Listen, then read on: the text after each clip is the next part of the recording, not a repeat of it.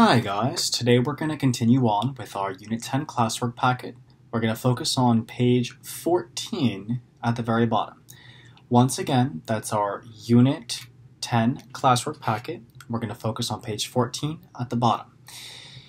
Now, I don't really want to go ahead and fill in information for angle 1 and angle 2 in the example because this is kind of easier to show than it is to try to put a name to, alright? But the basic idea is this. Let's say that I have a circle, alright? Let's say that I have a circle, and let's say that I have uh, these two lines that are secants, right? Meaning they touch the circle twice, but they go all the way through. Let's say I have those. The basic idea is this. Let's say I'm dealing with this angle right here, okay? Let's call that x. Now, this angle x, there's going to be a relationship between it, by the way, this is also x, and these two arcs that this angle intercepts. And here's that relationship. One way of saying it is that this angle is half of the two arcs added up, or if you'd rather, we can say that it takes two of the angles in the middle to make the sum of the arcs. So this right here is actually my preferred way to remember this. It takes two of the angle inside to make the arcs added up outside. For those of you guys who remember, when we were back at school, we did something called the trapezoid mid-segment theorem just to refresh your memory. Does anybody remember how it took two mid-segments to make the sum of the bases? This is going to be very, very similar. It's going to take two of the angles in the middle, so 2x, to equal arc and arc added together. All right? So to see how this is going to work, let's start off with a relatively easy example, which is number 1. Okay? So let's take a look at that, okay? So, number one, where did I go? Oh no, there I am. Number one looks like this. Okay, we're on number, page 14, number one. All right, here's my circle. Bada bing, bada boom. There's 45. There's 109. And they're asking us for AED, AED, which is right here.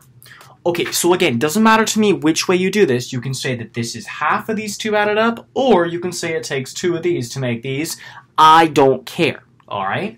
But my personal preference is to say that it's going to take two of this to equal these two added up. So 2x equals 45 plus 109. When I do the math there, I get, um, oh, what is that? 154, I think.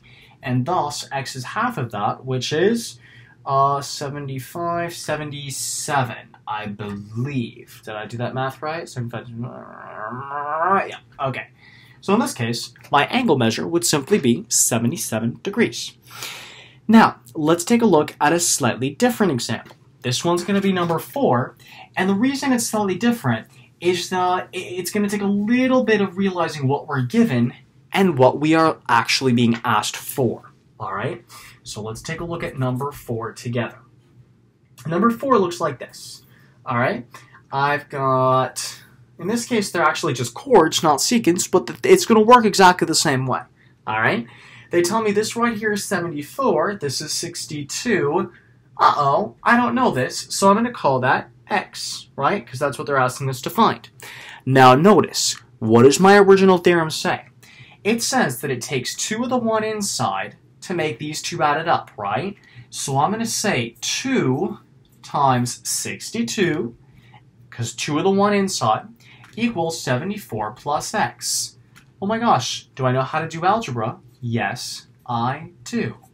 And now it's simply a one-step equation, subtract 74 from both sides, and I get that x is 50. All right?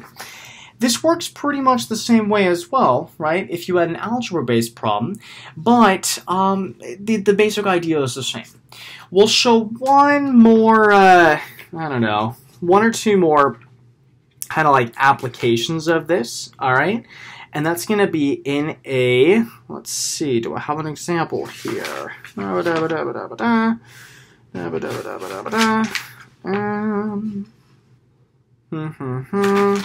Let's take a look at page 15, number 6.